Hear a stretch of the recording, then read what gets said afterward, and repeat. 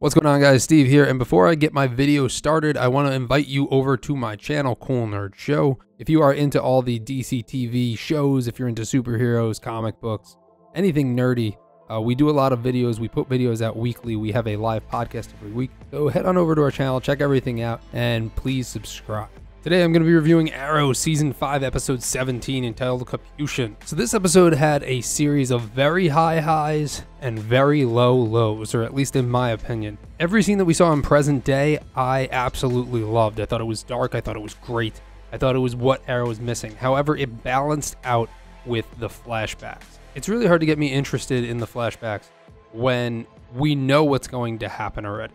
Like we know Anatoly survives. We know Oliver survives. We know that none of this is really going to matter.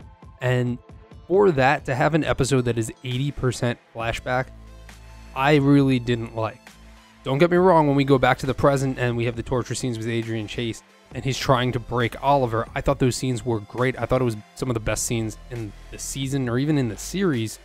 But they really balanced it out with the flashbacks, in my opinion. I feel like they tr- kind of tried to hide the fact that it was like 80% filler episode with all of these flashbacks. And to me, I just felt that that was kind of pleasing. So the whole episode, Adrian Chase, or Simon Morrison, as his real name is, and we found out the past couple episodes, is trying to break down Oliver to get him to admit that he enjoys killing.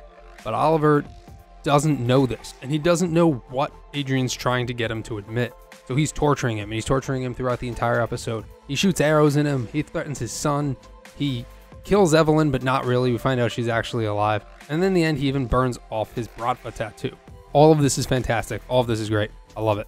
Then we get the flashbacks, which is most of the episode. I just wasn't into them. I can't follow the flashbacks. I don't really care. The flashbacks for me haven't been entertaining since season two, and they just get worse and worse. This season's a little bit better than the past couple seasons, but you have such a good episode here. And for me, I didn't fall for the hey, we're gonna start with Chase, we're gonna end with Chase, we're gonna cover up everything in between with flashbacks. I feel like that's really what they did with this episode. But Chase did a good job breaking him down, and they did have some good connections with the flashbacks too, especially in the end when Anatoly tells him that he enjoys killing and this is just an excuse that he's making for himself. It's the good connection to what happens when he finally admits it to Chase. It means kind of that he's been living like this for the past five to 10 years and not really admitting to himself why he's doing what he's doing. The thing that I did like about the flashbacks is we actually see Oliver change from Oliver Queen into the Green Arrow, especially when he kills one of Kovar's men.